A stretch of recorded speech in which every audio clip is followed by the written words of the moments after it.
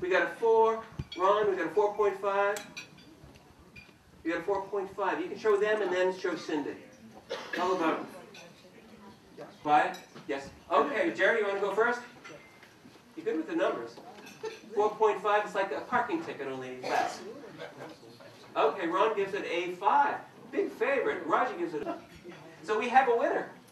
Sample B. Sample B, all right, so winner of the water with the disinfectant is the Fryeburg Water Company. Big hand! Water Company, best water in Maine. Go figure, I had a feeling you might be bottling some of it, but who knew? Um, Who knew? Um, do we have a board guy here to give him an award and a plaque and stuff like that? Okay, Solon non-disinfected number three. Solon on disinfectant number three! Okay. So listen, uh, Tom, you ready? What do they want to interview with them? No, just uh, You have for a secret What the, uh, for good water. How does it feel to have a plaque? the big, what's, what's the big award? You know, I don't know. Like- like- Okay, so this is the Outstanding Operations Award. I've got a fabulous speech which I wrote down about three and a half minutes ago.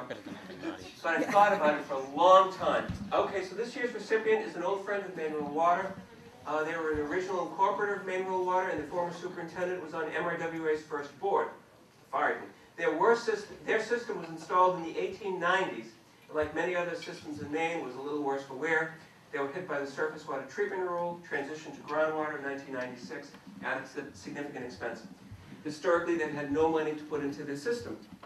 Then they got a phone call from Poland Springs, who was interested in drilling in their aquifer, as well as buying domestic and sanitary water from the district.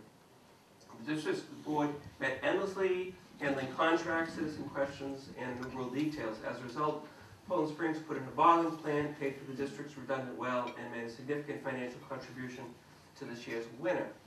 Uh, the district then parlayed this good fortune to successfully receive a seven hundred and fifty thousand uh, EDA grant and a seven hundred and fifty thousand SRF package to loop the system and replace water mains.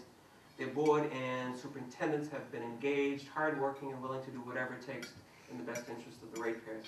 Please join me in congratulating the Kingfield Water District, this year's winner of the MRWA's Outstanding.